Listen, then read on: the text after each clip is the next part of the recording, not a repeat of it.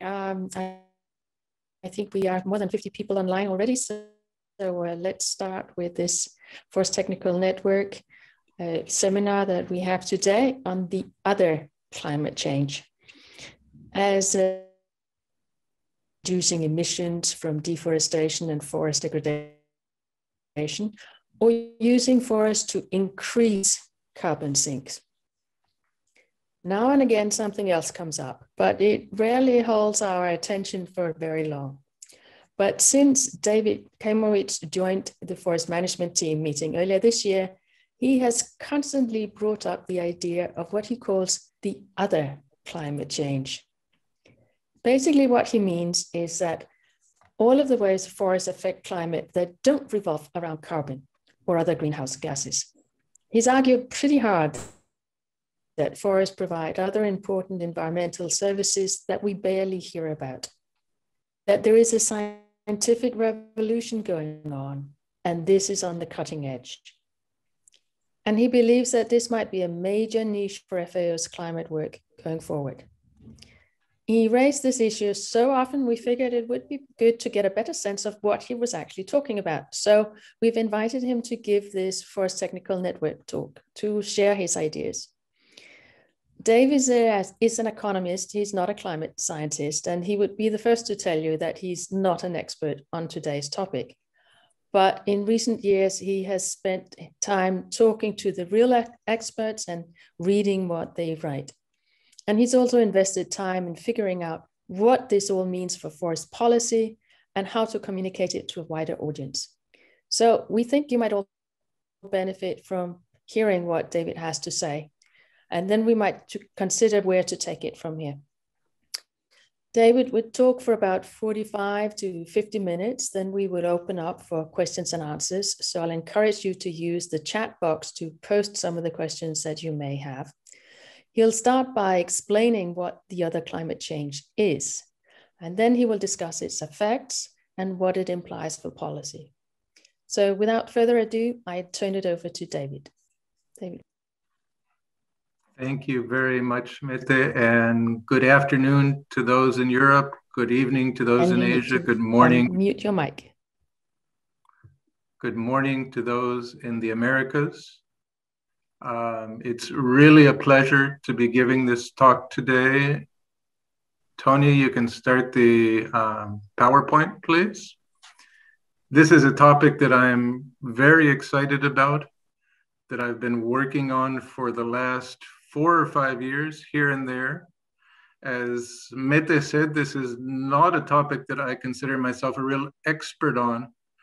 But for the last four or five years, I have been working with a group of about a dozen real experts on this topic um, who have been doing different sorts of literature reviews and different sorts of specific pieces of research. And we've been thinking about how to communicate this.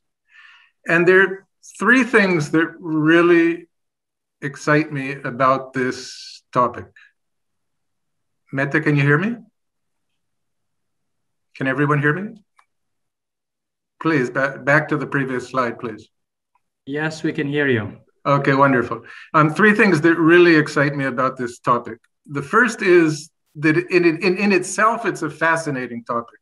It's at the cutting edge of science and there's lots of different pieces that we're learning so much more about how the climate works and how it relates to land use and forests every day. Second, it's incredibly important in terms of this magnitude of the impacts um, and the different ways it affects people's daily lives. And third, even though it's a topic that scientists are increasingly clear about, it's practically been ignored by the mass media and by the forest policy world. So there's this huge gap between what science is telling us and what the forest policy world has been talking about. Next, please, Tony. Now, why do I call this the other climate change? When we talk about climate change and we go to the definitions, the, the, the definitions that most people are using, I went to Wikipedia and it says climate change includes both global warming. driven by human emissions of greenhouse gases and the resulting large scale shifts in weather patterns. So you see here the emphasis on emissions of greenhouse gases. When we go to the United Nations Framework Convention on Climate Change, the agency that is responsible for talking about climate change, again it says to achieve stabilization of greenhouse gas concentrations in the atmosphere. But what's become increasingly clear is that the other things that we're doing to change the climate, it's not just greenhouse gas emissions, the ways we're changing land use, the ways we're deforesting, reforesting, the ways vegetation is interacting with the climate are ways that human beings are changing the climate in a, through a number of different pathways that are not just about carbon emissions or carbon sequestration or methane or other greenhouse gas um, emissions. Next, please. Now, when I first started thinking about this topic, and amazing as it may sound, that was almost 30 years ago. The conventional scientific wisdom was essentially land use, besides carbon, had very little effect on the climate. There were some famous studies in the early 1980s, uh, I'm sorry, in the late 1980s by Eneas Salati, that basically said, all right, if we deforested the entire Amazon basin and all the forests from it, that would have a significant effect on, precip- uh, on rainfall and that would have a significant effect on climate. But everybody assumed that that was such an extreme scenario. Nobody was ever going to deforest the entire Amazon basin. And all of the scientific wisdom was the conventional wisdom at the time if you change relatively small areas of forest, if you reforested um, 100,000 hectares here, or if you deforested 100,000 hectares there, that would really have essentially no impact on the climate. And in fact, most of the impacts that it does have on the climate from a methodological perspective were almost impossible for us to study 20 or 30 years ago.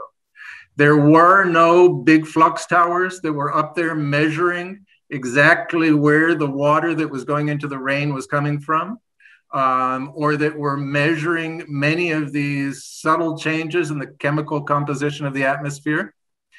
Um, our remote sensing was still very much in an early day. There was no big data that allowed us to look at all of these things across the world, and our climate models were still very um, basic.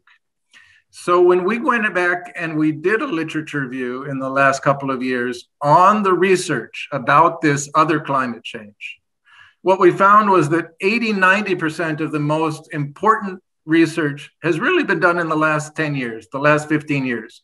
There's a whole world of understanding about the climate and how the climate interacts with forests and land use that we just simply didn't have 20 or 30 years ago. Next, please. Let me start with just some basic concepts of what we're talking about, and then we're going to go into talking about why this is so important. Most of what the UN Climate Change Convention focuses on in terms of greenhouse gas emissions is about this concept of global warming. Um, what do we mean by global warming? What we mean by global warming essentially is a certain amount of energy comes in from the sun to the planet, to our atmosphere, um, and some of that goes back out, but a lot of it gets trapped in the atmosphere. And there are two main things that are really kind of influencing how much of that energy gets trapped in the atmosphere and how much warming goes happens, if you will, in that regard.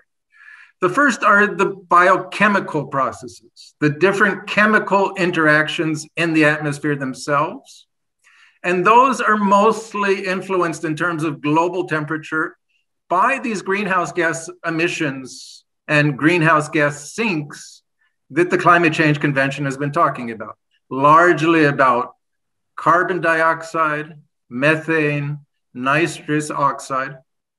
And then there's another set of things which are more biophysical that aren't about the chemistry but are about the physics of this.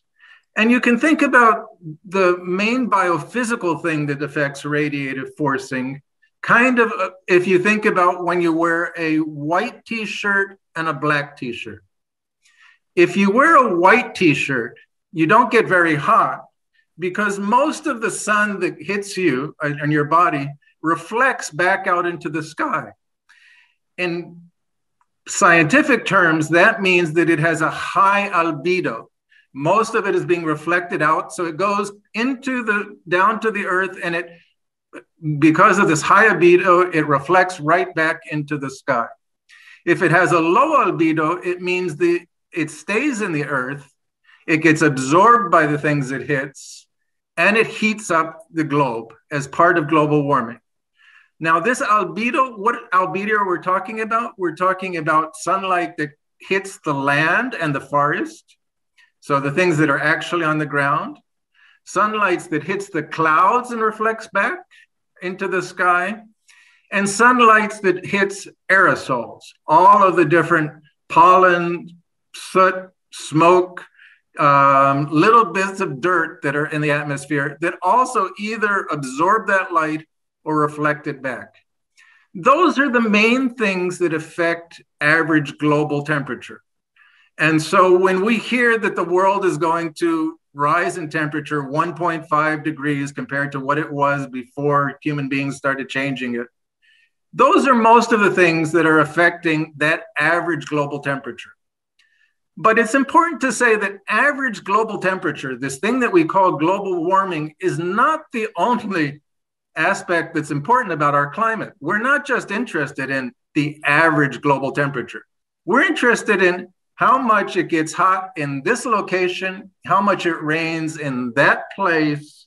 Um, and that's not just about radiative forcing, that's about other processes that are also changing the climate in some very significant ways that may not be so important in terms of radiative forcing, but are very important for the climate each of us experience in terms of the heat we feel, the rain that falls on our head, the winds that are blowing in our face. Next, please. To give you a sense of this, let's start with evapotranspiration. And here's a little video about the evapotranspiration just in the Amazon basin to give you an idea of how much water we're talking about is going from vegetation into the sky. Hit the video, please. That's thanks to 400 billion geysers shooting water into the sky. Not geysers like those, trees. When pores on leaves open up during photosynthesis, plants also lose a lot of water. Like what happens when you suck on a straw. This evaporation pulls water from the roots to the tops of trees up to 60 meters off the ground. A large tree in the Amazon can release a thousand liters of water into the atmosphere every day. Altogether, trees in the Amazon basin release 20 billion tons of water, or 20 trillion liters each day. It's enough to fill 8 million Olympic swimming pools, which I'm pretty sure you can't really picture, but it's true. So, get back, please. Tony, back to the. So that's an awful lot of water going into the sky. A huge amount of water going in from the Amazon basin, but also a huge amount of water going in from other trees around the world. And what effect does that have on the climate? It essentially has two effects. First, a lot of that water is actually helping to make rain. More water is leading to more rain. It used to be that scientists used to say the fact that there's a lot more trees where it rains more is basically because more rain leads to more trees. It's not that more trees lead to more rain. But as we've been able to study these processes better, we understand that that's not that true. That in fact, less trees does lead to less rain. And, and we'll get back to that eh, eh, as we go ahead in the talk. The second thing is, in addition to the huge amount of water that's going into the sky, a huge amount of energy is being consumed to push that water into the sky, to make it evaporate and reach the clouds. How much energy are we talking about? That same film that you just heard a bit from says that it takes 30,000 hydroelectric plants the size of the Three Gorges Dam to evaporate all the water from the Amazon rainforest into the sky each year. That's a huge amount of energy, almost unimaginable. Now, what happens with that energy? Essentially, that energy goes from being heat at ground level and moves in the vapor up into the sky, essentially leaving the area that's on the ground much cooler than it would be otherwise. So it's not increasing the radiative force much. It's, it doesn't mean that more energy is coming in from the sun is staying here. It basically means that the energy that was at ground level is moving up into the sky higher than where you were going to feel it or your crops are going to feel it. A second way, besides evapotranspiration, which is also very important in this regard, is surface roughness. When winds hit a, up against a forest, what it does is it pushes the winds up towards the air. And when that pushes the winds up toward the air, that actually pushes a lot of heat up into the sky with it. And it's in fact almost as important as evapotranspiration. It doesn't get to be talked about as much as the evapotranspiration, but all of this pushing of the heat up into the sky when the winds hit up against the forest is actually very important in terms of local and, and regional climates. And finally, there are a number of scientists who believe that wind creation, that the one important reason we have hurricanes, one important reason we have quite important um, winds that we would not have otherwise, is because essentially the forests are pulling in that wind. It's a term that's being used for that is a biotic pump of the trees pumping the wind towards it. It is very controversial. It's much more poorly understood than the evapotranspiration of the surface roughness, but it's increasingly talked about in the scientific literature. Next, please. And finally, the other main way that we are changing the climate um, that's not through carbon emissions or methane or carbon sequestration is through cloud condensation nuclei. Let's hear this video to explain what cloud condensation nuclei are. Next, please, Tony. But H2O can't form droplets on its own, ever. Much like the plants they nourish, raindrops grow from seeds. At the heart of every raindrop is a tiny impurity, anything from specks of dust to salt, pollen, even chemicals. Rain seeds give water molecules something to cling to so they can grow into droplets. Trillions of these droplets make up every cloud we see, and when they eventually get big enough and heavy enough, they fall. So that's rain. It's water collecting on little islands of floating sky junk and pixie dust if you're like me, most of you probably thought that rain was just about how much water got into the sky, and that when it certain got to a certain level, it kind of there was enough water there so the, the gravity made it fall. As you just saw in this video, that's not really true. For the water to fall, it has to interact with these cloud condensation nuclei.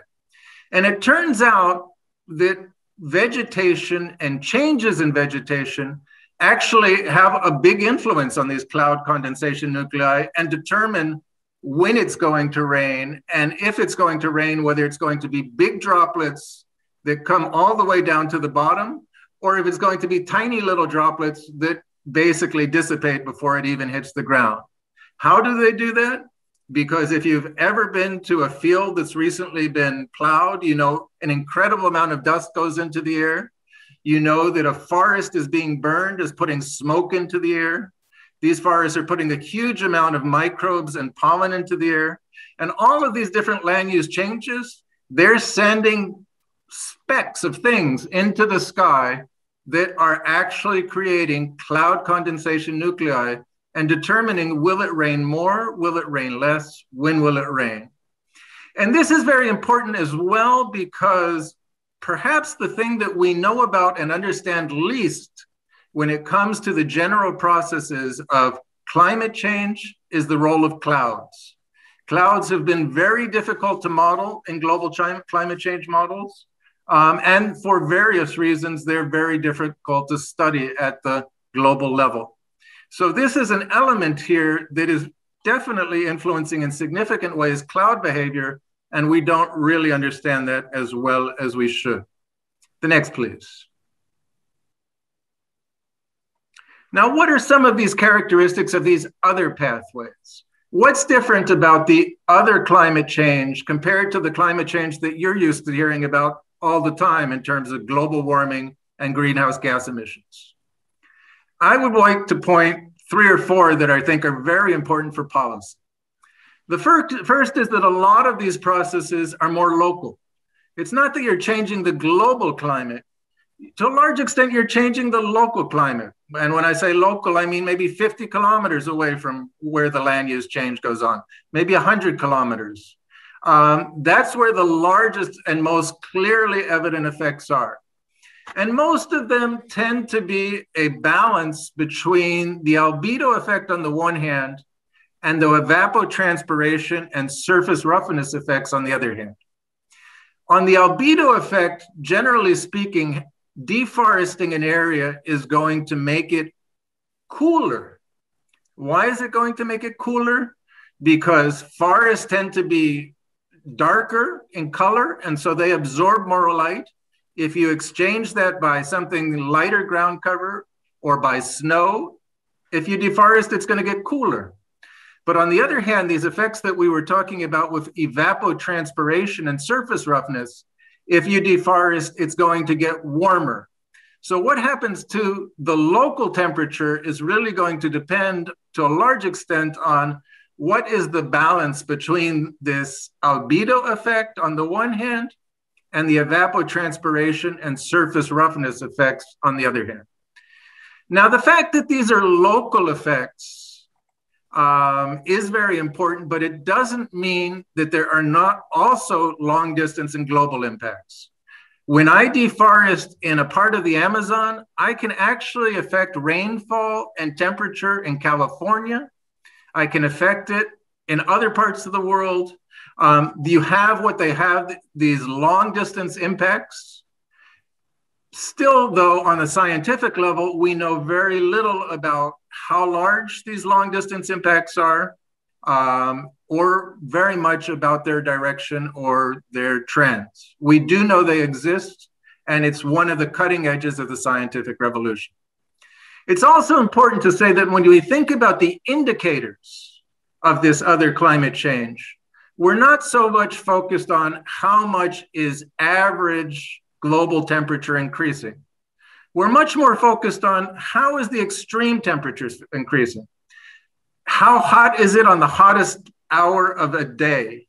How hot is it on the hottest day of the year? When does the rain, rainy season start? How long is the dry season? A lot of climate indicators that are very important for people's lives, but are not the climate indicator that we're used to thinking of, which is just how much is the, on average, is the globe increasing in temperature. And I should also point out finally that many of these impacts at the local level are much larger than the greenhouse gas impacts, and certainly in the short term.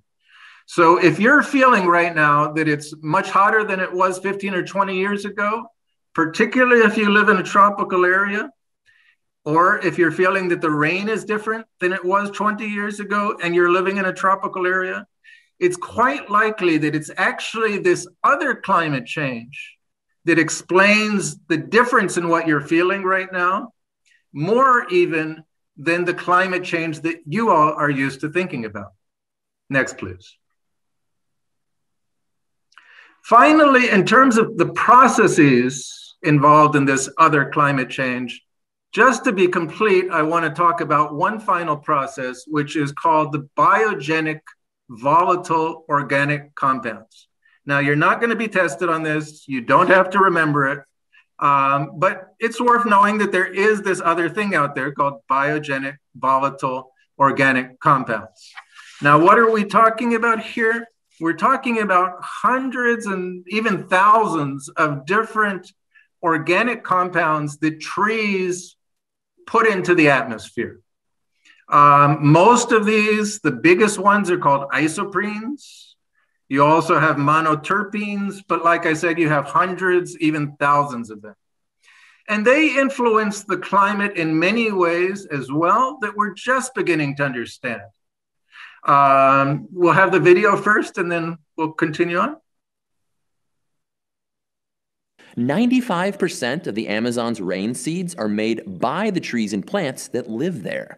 Along with water vapor, trees in the Amazon release chemicals that act as super sticky H2O magnets.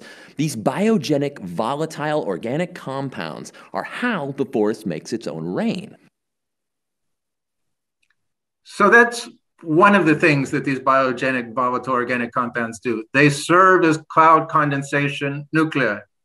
They also have albedo of their own. They either reflect or absorb the sunlight. And they interact in very complex ways with greenhouse gas emissions. So when you have more biogenic volatile organic compounds in the air, it changes how quickly methane um, how long, how quickly it, it, it, interacts and disappears from its greenhouse gas effect. It affects the ozone composition in the atmosphere. It affects a lot of different chemicals in the atmosphere. So it's having an indirect effect that makes it a little bit like a greenhouse gas, but not quite a greenhouse gas. And these biogenic volatile organic compounds are also affecting your temperature, also affecting rainfall, and they're affecting both the local and the global climate. The effects are local specific, they're poorly understood. Sometimes they're warming the climate, sometimes they're cooling the climate, complex. But you should know that this is one more reason why, when they tell you that climate change is about greenhouse gas emissions or greenhouse gas sinks, you can raise your hand and say, no, but what about the biogenic volatile organic compounds? Next, please. Now, how does the climate change that most of you think about interact with the other climate change we're talking about here? In some cases, it reinforces it. In some places, by deforesting an area, or reforesting an area, it's actually going to increase the global warming effect or the local warming effect. So, in addition to the effects of the global warming from greenhouse gas emissions, you're also getting effects from this other climate change. In other cases, it's going to offset it. So, if you deforest in the Arctic, in Siberia, that's going to reduce the albedo um, I'm sorry, it's going to increase the albedo. And when it increases the albedo, you're going to, no, sorry, it's going to, in, it's going to reduce the albedo. And when it reduces the albedo, you're going to get the much more, you're going to get um, the sun coming in and much more snow. So it's going to cool. In any case, in some cases, you're going to strengthen the global warming effect. In some cases, you're going to reduce it. The interaction between these two climate systems are complex, they're nonlinear, they're dynamic. So we can't simply say the other climate change, you just add it to the climate change you're all aware of. You can't simply say this other climate change just subtracted, but you can say that it, it is quite significantly affecting the way the global warming you have all been hearing about is affecting people on the ground. And it's affecting them in many ways that are not just about this average global temperature, that's about the specifics of each location um, of each local climate. Next, please. Now, I'm going to go slow here. This is probably the most complicated graph I'm going to show in this presentation, but it's an important one because one of the things that people often ask is all right, how does this other climate change compare in size to the climate change that we've been hearing about? particularly if we're talking about average global temperature. It's very hard to compare the two globally at any with anything except average global temperature because the things are so location specific. Now, this is an exercise that is done by modeling. And basically, what this graph is showing you, what we have here are different latitudes of the Earth. So when you get the higher up there, 70, 80, 60, 70, 50, 60, that's Siberia, that's Canada, that's the Arctic. Then you get the 50s, the 30s, the 40s, that's Europe, that's the United States. Then you get the tropics. And then when you get on the bottom there, what you get that you start getting to Antarctica, the southern cone, these sort of things. Now, this is a thought experiment that says what would happen if we deforested all of the trees in the 10 degree latitude for each of these 10 degrees? And if we start from the left, what is it showing us? It's showing us that this albedo effect, this orange effect, is very, very high in Siberia and the Arctic and, and the northern hemisphere if we get way, way up there, the fact that you are removing trees and those trees are going to be replaced by snow, that snow is going to reflect a lot more sunlight back into the atmosphere. And so deforestation in these very, very northern areas, it's going to be causing global cooling, if you will. More deforest, more cooling. But when you get down to the, then when you get to the United States or Europe, you see that those things are more or less similar. The, the thing that cools, everything to the left of this line is cooling, everything to the right of this line is warming. So you're seeing when we get down to the middle of this thing, more things to the right of the line. So that means when you deforest, you're getting a lot more warming. And why are you getting that warming? If we look at the middle graph here, you're getting it because of the CO2 effect. The blue in the middle column of this graph is carbon dioxide. So we're saying that most of that is the global warming part that you've heard about, the greenhouse gas emissions. That blue is larger than the biophysical part, than these than the other climate change. But even so, when we talk about the tropics and the tropical areas, about 25 or 30% of the global warming when you deforest an area in the tropics is coming from the other climate change, is coming from the evapotranspiration, from the surface roughness, from these sort of things.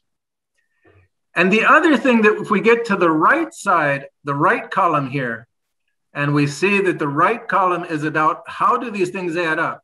Are we talking about net cooling or net warming? What we see is that above about 50 um, degrees latitude, deforesting actually leads to net cooling. But when we get down to the tropics from, from roughly 10 degrees north to 20 degrees south, deforestation is going to lead to quite substantial um, net warming globally. And that net warming of deforestation is about a half of a degree. So if we were to deforest the tropics, these areas here from zero to 10, that latitude, that would increase the global temperature by about one half of a degree centigrade. If we think about the difference between 1.5 degrees centigrade and 2 degrees centigrade, that's quite a big impact in terms of the global climate. Next, please.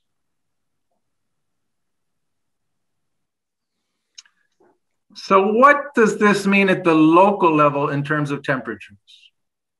What this graph is, it's from a literature review that is showing different studies based some on empirical evidence, some on modelings with parameters that have been taken from other things. If we deforest an area, how much does the local temperature go up? And what we can see immediately from this graph is that it's going to go up much more in the tropics than in the boreal area, and that the temperate area is somewhat in between there. We can also see here that the closer we are to the ground, the temperature is going to grow up more. Why is that? That's because this process of the evapotranspiration and the surface roughness pushing the temperature into the sky. So anything that's closer to the ground is going to, the temperature is going to raise even more. How much more? Empirical studies are going to say in the tropics, we're talking about roughly on average one degree, but in some places more than two degrees.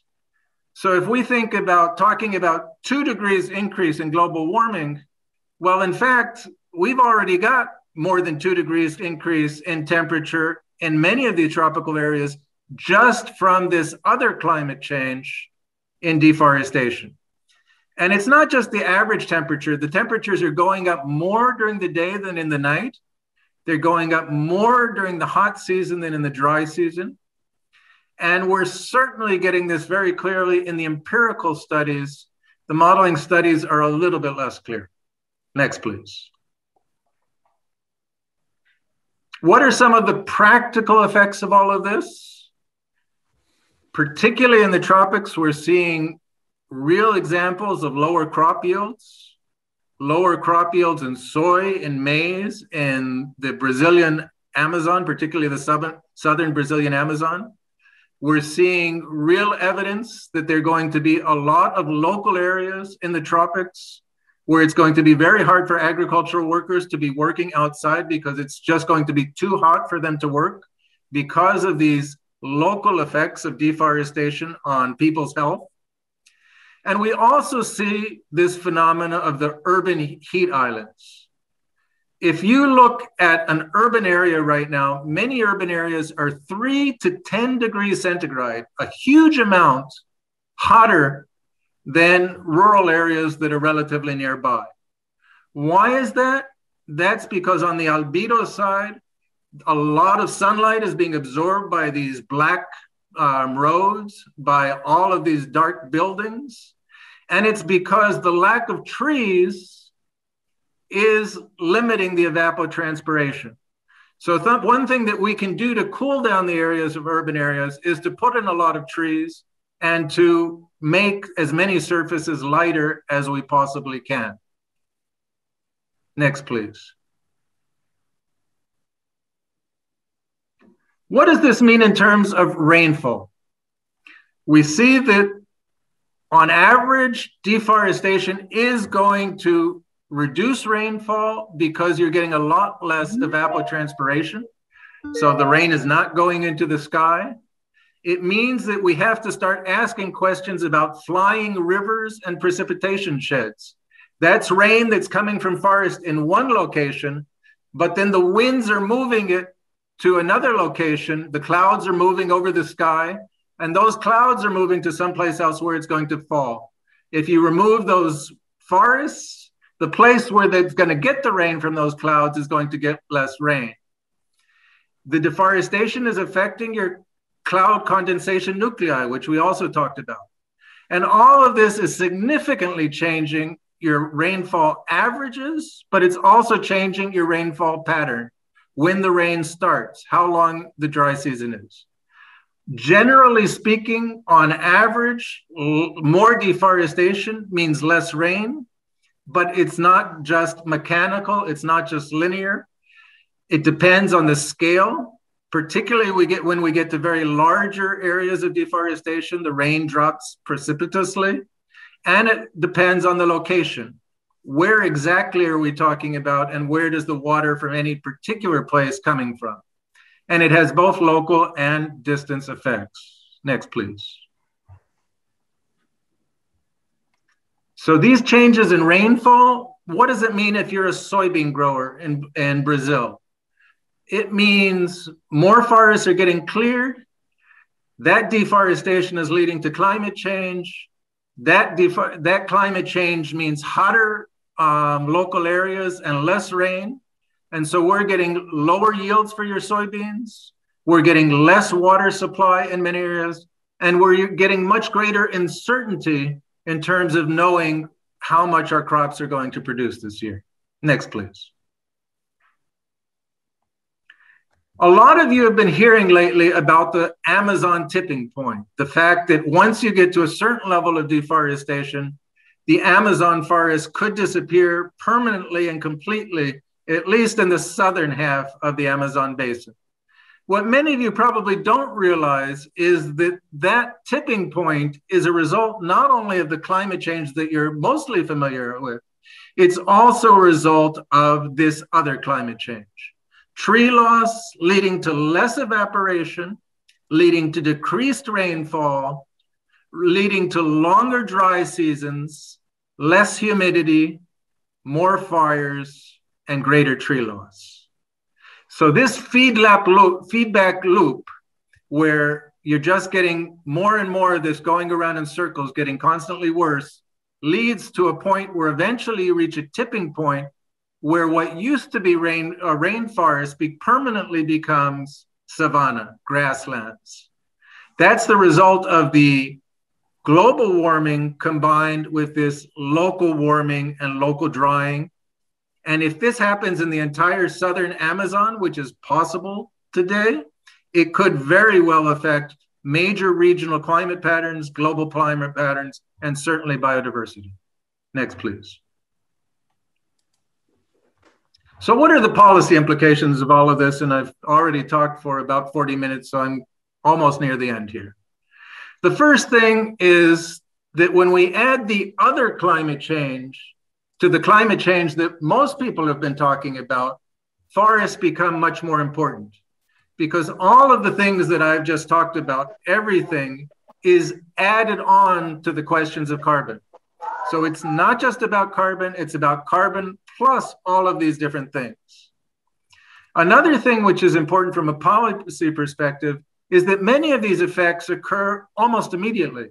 This is not the gradual increase of carbon dioxide in the atmosphere over decades. If I cut the tree down today, it will stop evaporating today and it will affect rainfall almost immediately. And so the time periods we're talking about are much more easier, closer to home. And many of the things we're talking about have to do with people's lived experience. It's not just a question of this vague thing about the world is warming, the general atmosphere.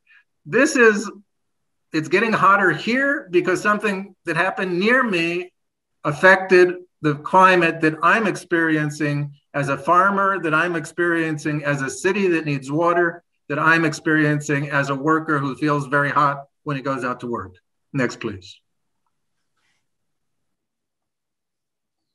So, as I just said, the policy interventions here can also be more local. If we want to cool down the cities so that people don't feel heat stress, and there are many cities in the tropics where they will be practically unlivable if we don't address the urban um, heat island effect in South Asia, in parts of Africa. We're going to need those trees to act as massive air conditioners for people's health and for the city's water. And we're going to need local forests to address the issues of agricultural yields and heat stress. If we're thinking about a place like uh, Mato Grosso, if we're play, thinking about a place like Southern Para, if we're thinking about a place of Riau in Sumatra, we're going to have to be thinking about how much forest do we need locally to maintain the climate that we need for our workers and for our crops. Next, please. One interesting question that, that's hard to figure out what to deal with is should we call this climate mitigation or climate adaptation? One thing I haven't said, but it's important, is the first time that the global community really started addressing this whole issue of the other climate change in any systematic way is the IPCC land report of 2019, the special report on climate change and land. And there was a big debate among the people working on the IPCC report. Should all of this go under mitigation or adaptation? I tend to think of about this as mitigation because if you stop deforesting, you're going to have less climate change, from my perspective. But if your definition of climate change is that it's only climate change if it's created by greenhouse gas emissions, then it's useful to think about this in terms of adaptation. Is this something that um, all right, we're going to have this amount of greenhouse gas emissions, but we can reduce the effects on people by changing the amounts of forest and the way they affect local temperature and the way they affect rainfall. What does this imply about which international agencies address this? Obviously, it's not doesn't really fit into reduced emissions from deforestation and degradation, REDD, because precisely the definition of this other climate change is that it's not about emissions. Does it fit into the UN Framework Convention on Climate Change? Maybe, not really. As we said, the UN Convention was set up to deal with climate change that resulted from greenhouse gas emissions, not all these other climate changes that are resulting from reforestation or deforestation. But there is an element of adaptation in the United Nations Framework Climate Convention on Climate Change where this could enter in. And it might be a good thing to think about how it fits into the GEF Adaptation Fund if we're thinking about where does this fit in from a policy perspective. Next, please. Another very important thing from a political perspective is that this climate change is less global, is less north south. This is not, I'm going to reduce my emissions to help the climate. This is, I'm going to reduce my emissions to help me. If I, I'm sorry, this is about, I'm going to reduce my deforestation to help me. I'm going to reduce climate change to help me. If I'm deforesting in the Amazon basin, I am having an impact on my own farmers on my own soybean yields, on my own workers. So the political dynamic is different. Um, and the transborder regional climate effects become very important as well. So we see here some of these arrows. These are some of these flying rivers where the rainfall in parts of the southern cone of South America, much of that rainfall is coming from the forests in the Amazon basin where we see that in Africa that much of the rainfall from the Sahel is actually coming from the Congo basin. Um, and amazingly enough, we see that some of the rainfall in northern China is coming from Europe. So these transboundary effects create a transboundary discussion, which is quite different from the global discussion that we've been having.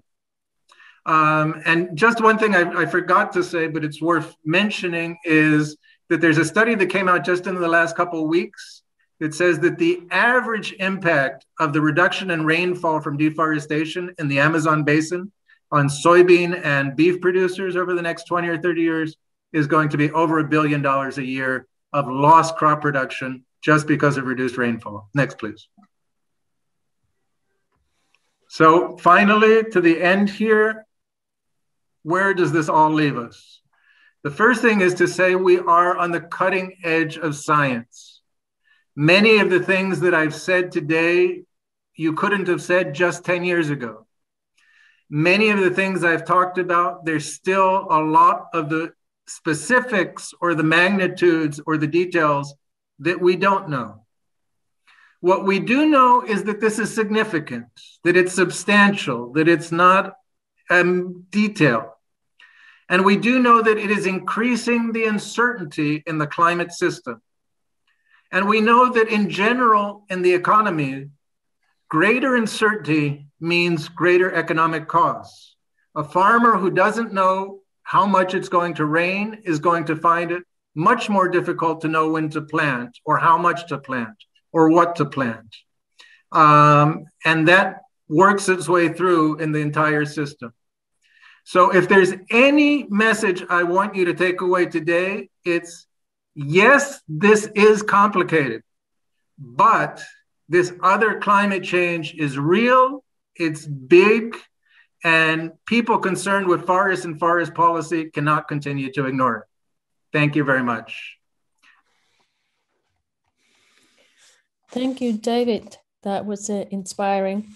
I think there's already some questions in the chat. Maybe you want to take those and then we'll just ask people to raise their hands if they have any further questions. But David, perhaps you take a look at what's in the chat and then I'll see who might have a hand raised. And there's a question here about Mongolia on the 46 North. So uh, to the grass, reducing deforestation in Mongolia will not have much impact on global warming. Now I'm wondering, does this also consider permafrost melting? I'm almost sure that it does not consider permafrost melting. It only considers um, above ground effects. So it's not dealing with the peat effects. And I think that's a very important point. Another very important point in terms of the higher latitudes is that this effect of albedo in the higher latitudes may, may be a temporary effect because as these higher latitudes get warmer anyway, that snow is going to disappear. And that process is unfortunately going to disappear. So as the Arctic increases, the, the difference between a forest and a snow covered area, that al- albedo difference is going to be reducing over time. So that's something to consider. Um, but it does tell you that if we're worried about this other climate change issue, it's very important to focus very specifically on the tropics because that's where the real action in these issues is going on. Um, irrigation in India may impact rainfall in Africa. Yes, there is some um, relevant there is some relevant research on that. I'm trying to get my uh, cursor to work here. Sorry. So I can.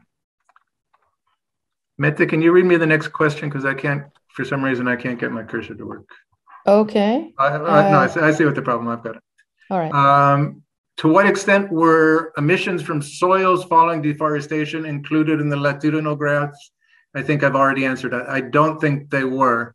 Um, and, and just one thing I should say to people the latitudinal graphs and the graphs in terms of local temperature are from two manuscripts that are not yet published um, and so cannot yet be widely shared.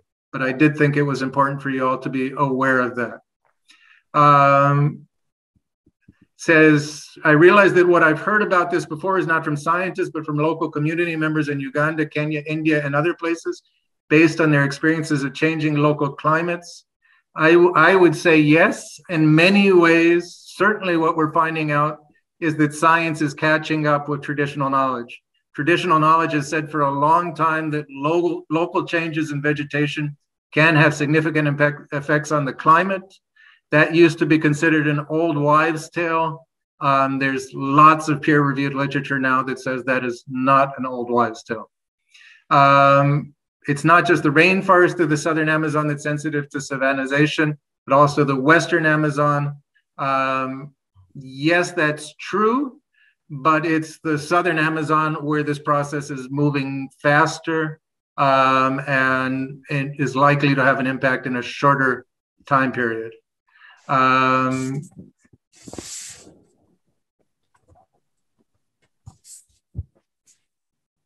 um, what is the interactions with raising water sea temperatures?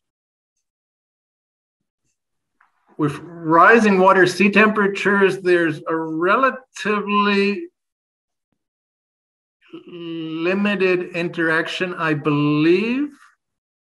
Um, but there is a significant interaction in the seas more generally. Um, one of the reasons that the empirical studies and the modeling studies um, often don't coincide that well is because when you start modeling significant major areas of deforestation, you start to get a lot of interactions with the oceans that don't show up yet in empirical studies. Um, and that's one of the areas that we know relatively little about. So does it have a lot to do with rising water? Not per se, but it there is very important um, feedbacks from the oceans into this. It's not just a terrestrial process. Um, what would be your practical advice to forestry practitioners in transforming forestry at different latitudes? Um, one is I think that we really need to get to the cutting edge in terms of being able to understand and manage these processes better so that in the future, I'm convinced that we will be able to manage local land use in part for local temperature. Right now, we're mostly there only in terms of urban forestry and knowing what we need to do reduce um, urban heat islands. But we do know that in general, for example, in the southern Amazon, keeping a fair amount of forest there is going to be good for the temperature and for the rainfall of the soybean farmers and the maize farmers near that. I think we're going to find an increasing number of examples like that. Um, it means also that we should be thinking often about albedo. What species are we planting and how much do different species reflect into the sky? Um, it means that we should stop saying that 10% of climate change is caused by deforestation. Um, and we should go out and make the argument for more funding, more emphasis on forests in this cl- climate discussion because deforestation is having a much larger effect, and reforestation could have a much larger effect than what most of our non forestry colleagues are aware of. How do you see that scientific knowledge can be combined with local and traditional knowledge in order to influence policy and practice? Um, well, I'll give a very interesting example from my own experience, which was in Nicaragua in the 1980s. We did lots of oral histories with farmers, and the farmers all said at the time that rainfall was not, that rainfall was decreasing. And we said, no, that's impossible. We've been looking at all of our rainfall meters for the last 20 years in this area of Nicaragua. Rainfall has not been decreasing. Um, in fact, it's been the same.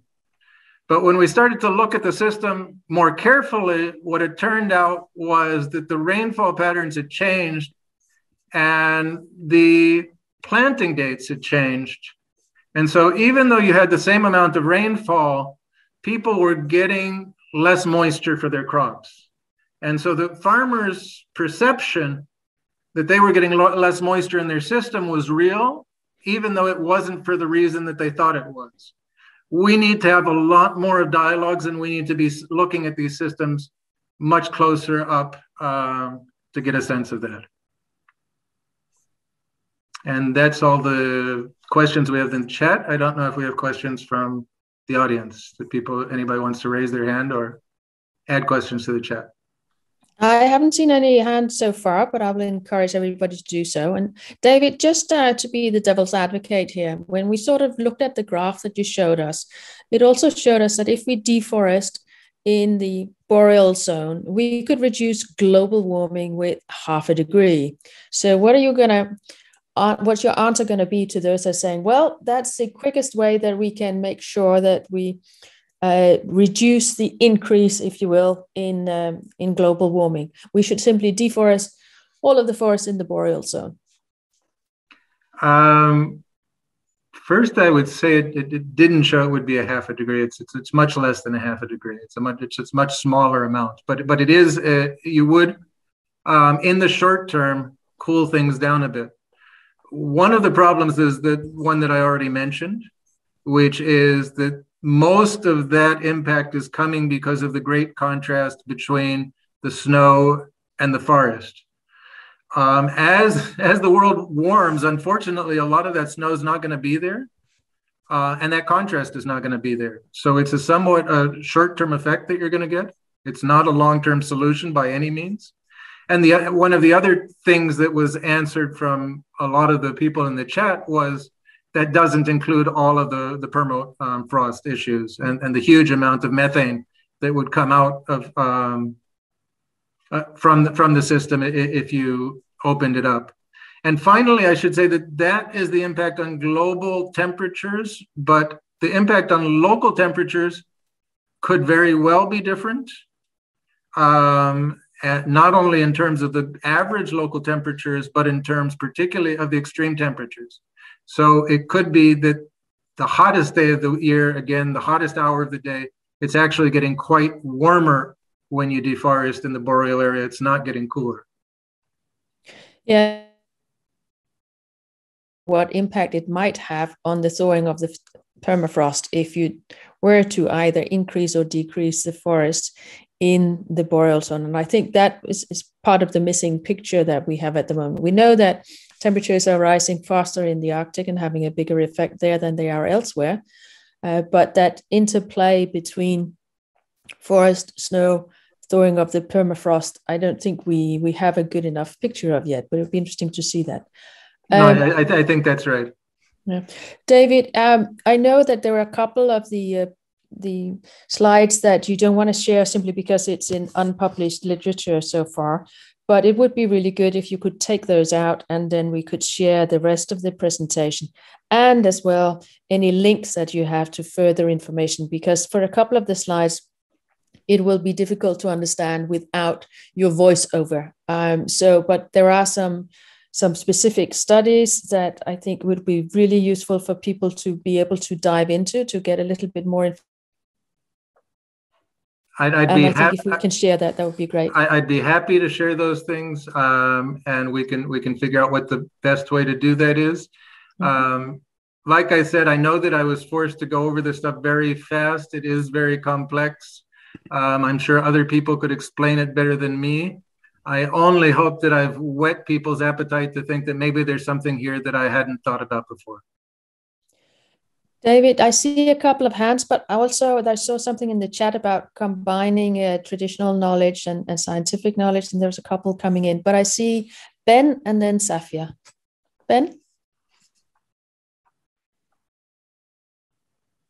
Uh, yes, uh, thank you, David, and thank you for um, for calling me. That's it. Uh, yeah, it was a fascinating pres- presentation, David, and I really appreciated you giving it. So thanks for this overview.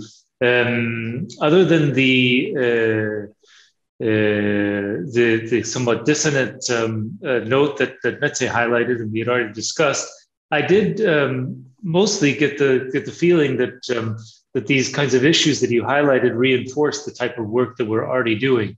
So uh, perhaps it would be it would be helpful, at least to me, to understand uh, what's the nuance or what what's the the subtle difference. What should we be doing different now with this emerging knowledge that's coming out uh, from what we're already doing? Uh, what's the what's the change or what's the difference that we should be thinking about or should put in the back of our mind or or what new information should we be looking forward to coming out uh, so that we understand the different actions that would be that would be called for under this new uh, paradigm shift you're highlighting. Thanks. Well, let me give you a very specific example. In the last month, um, the Minister of Environment of Brazil has come out and said, I need a billion dollars from the United States uh, to reduce deforestation in Brazil because I don't need to be reducing deforest, reducing growth and um, economic development in my own country for the sake of the rest of the world. What's in it for me? Well, just two weeks later, a study came out that says that Brazil is losing $1 billion a year in soy yields and beef yields because of the lower rainfall, not even including the higher temperatures, the lower rainfall in the southern Amazon. Now, that $1 billion a year that Brazil is losing because of lower soybean rates, because of its deforestation, has nothing to do with the United States. The political, the political economy of that is totally different. Um, and it's a huge amount of money. So Brazil doesn't have to do this for the rest of the world. Brazil has to do this for Brazil because the southern Amazon basin, the Cerrado of Brazil, is one of the most important agricultural areas of the world, and we're putting that at risk for Brazil, not for the rest of the world, if we don't address the deforestation issue. So that's just one example.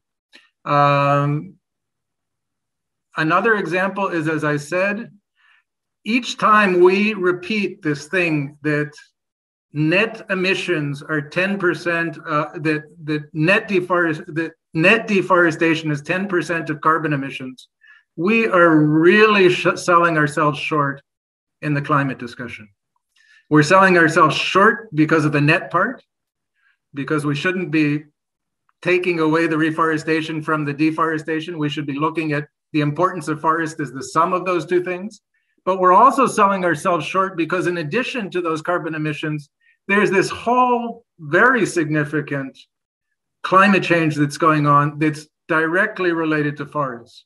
So addressing these forest issues becomes much more important. And obviously, I'm preaching to the converted here, um, but I would say that the converted here has been really shooting itself in at the foot constantly by ignoring this issue because this is a very strong argument for greater support for the work that you all have been doing. Thanks, David.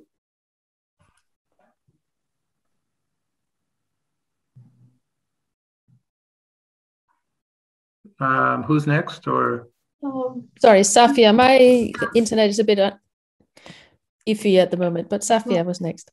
Yeah, uh, thank you, David, for the interesting presentation. I had a quick question about um, the existing research, if it's showing any difference in the other climate change factors for plantations versus natural forests, mixed natural forests. Um, I would say in general, not much. Mm-hmm. Um, in general, we're finding now this is an oversimplification. You can find specifics, but the general story is that um, that that they're somewhat similar. Now, obviously, if you have a huge tree that's pumping out a huge amount of water and you compare that with a sapling next door, um, in terms of the, the size, et cetera, you're going to get a very different effect. Um, but that's not because it's a natural forest or a plantation. It's mostly because of the plantations are very young and very, and, and you would guess that the, the shorter term plantations have, have much lower effects. But generally speaking, what I've seen is that it's surprisingly symmetrical. Um, there is a question here. To your knowledge, do um, LULUCF negotiations under the UNFCCC and discussions in the European Union not address these aspects of land use change? No, they do not address these aspects of land use change. Albedo has been to some extent in the discussion, um, just because it's a, a large impact in terms of global warming, in terms of average global temperature. But these questions of evapotranspiration and surface roughness um, and biogenic volatile organic compounds um, and cloud condensation nuclei have been almost entirely absent from the negotiations. There hasn't even been a forum for analyzing what their effects are and what their results are. And unfortunately, if we look at the IPCC report of 2019, it does a pretty good job of, of summarizing the science. And it's if you want to see it, a, a good place to kind of start is the pieces of chapter two of that report that focus on that, but it does a very poor job of pulling out the policy implications of this. What does it mean for the real world? Um, it's just kind of put in as a scientific background. Um, unfortunately, and one of the reasons why I'm emphasizing this so much is that it has been totally absent up until that in the policy discussions. Thanks. Okay, I'd also just ask uh, Tony or Sophie to to save the chat that we have because there's a lot of links in there as well to additional information that we should capture so that we can share that as well. Uh, I don't see any other hands at the moment. I see a couple of new messages, David. Um, I see. I see lots but of. But maybe they're mostly comments. Yeah. I see more comments than questions. Right. Um, says well, eucalyptus is well known for consuming large quantities of water, which ought to be good in certain scenarios here. Um, that that sounds like an interesting comment, but I haven't seen any specific studies that I on the topic that I could um, speak to. In fact, I would say I've seen relatively few studies of this that are species specific, um, in part because most of this is, is dealing with um, most of a lot of it is done through remote sensing and flux towers of mixed forests. But but the species the species specific questions are relevant um, and it certainly would be a very important area to, to look at more i haven't seen a lot of I, have looked a fair amount at the literature and there isn't a lot of literature on the species on species specific at least it's framing it within this context